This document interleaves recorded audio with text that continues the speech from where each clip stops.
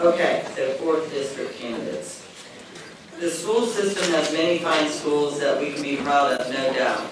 How would you replicate the success we have seen in those schools that are clearly not doing as well?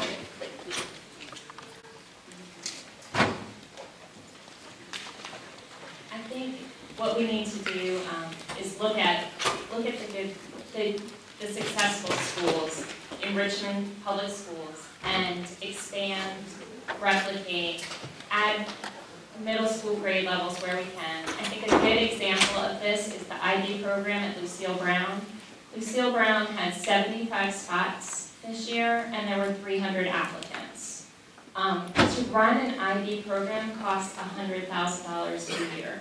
So we need to expand this program, make it accessible to more students. We need to ensure that students who are in this school have real access to these classes as well. Um, To have a, a program co-located within a school often creates an environment of the haves and have-nots, and I don't think that's healthy for our children, especially on the middle school level. Um, I would also support, um, we have, we have a lot of small, successful schools in Richmond where you have to academically qualify to get in. Um, I think access is really limited and that we're missing a whole group of children who are in the middle.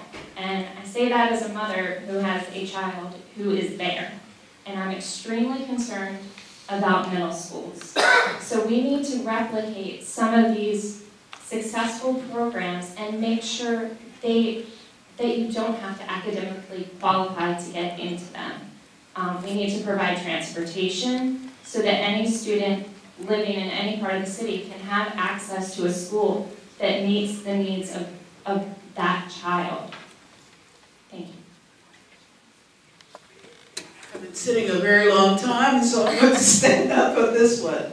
Um, replication sometimes works, sometimes it doesn't, because a lot depends on the personalities and skills of people involved in the particular school. And, and studies have shown that I, I- school districts have replicated programs from other school districts because it was successful there, and then they don't want, they wonder why it wasn't successful in the new school district that adopted it. I'm going to talk about something that really does work. Uh, I think we have to look at restructuring. I think we have to look at the way we teach students. Uh, I think we have to look at things like themed schools, magnet schools. I've thought about on the high school level. Uh, we have many students who just love sports. Why don't we have a sports academy, a school where students learn through that venue, where, where we're preparing kids so they can compete nationally and internationally, and eventually maybe some of them make it to the Olympics. These are the kinds of ideas we need to think about that interest kids and want them to move forward. Uh, why don't we have a school of the arts? We've got a, that wonderful choir uh, over at Armstrong. We talked about that graduation rate. They got the best choir in the city. They travel in Europe and everything else. We need to change the way we address education. Let the students decide where they're going. Why don't we have, uh, instead of declining enrollment at Richmond Technical Center, why don't we have that as a standalone school that teaches the very latest technologies, partners with business, and everything else? It's not a matter, I don't think replication necessarily works that well that often. I think we have to spawn some new ideas based on the interests of the students. Restructure the schools, go to K-6, K, uh, eight if necessary, and whatever else we need to do. I think we need to have a very broad discussion on this. Thank you. Um, replicating successful programs. Um, IB is a very popular program. Um, Richmond Community High School is a successful high school, and I, there are elementary schools that have um, many enrichment programs within their schools.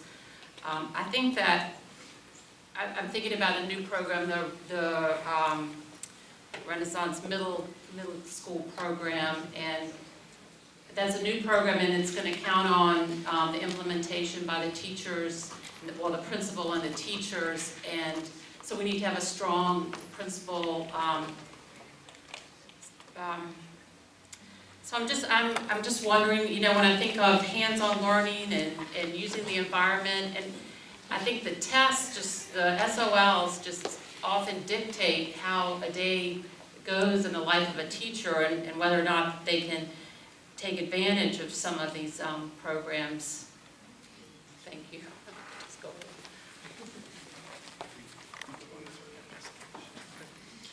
Okay, I'm gonna talk quick because I've got, I've got to talk about that other issue. About the anti-bullying, uh, I have a, a, a platform on my website, richforrichmond.com, which I worked with uh, Equality Virginia to develop a comprehensive anti-bullying policy.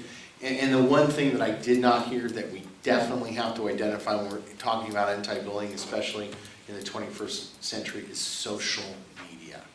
And here at a college campus, I don't, you know, the social media bullying that happens in middle schools, you know, it starts in middle schools.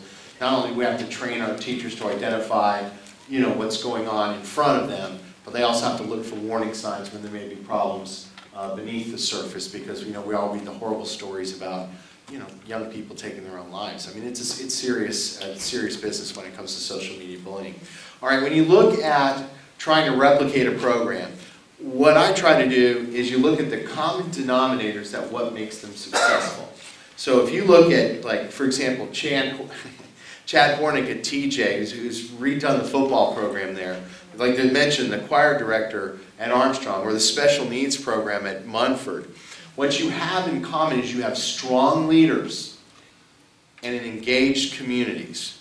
So what, what I want to do as a school board member, and I'm experienced too, the, the, the central, we've talked about central uh, administration having too much power. What we have to do is find and encourage leaders, work to engage our communities, because in every success story that we do have in the city, those are the common denominators, and that's what I'm going to work on, regardless of what program we want to replicate. And that's, that's what is, is especially important uh, uh, to me to, to uh, achieve uh, that, so.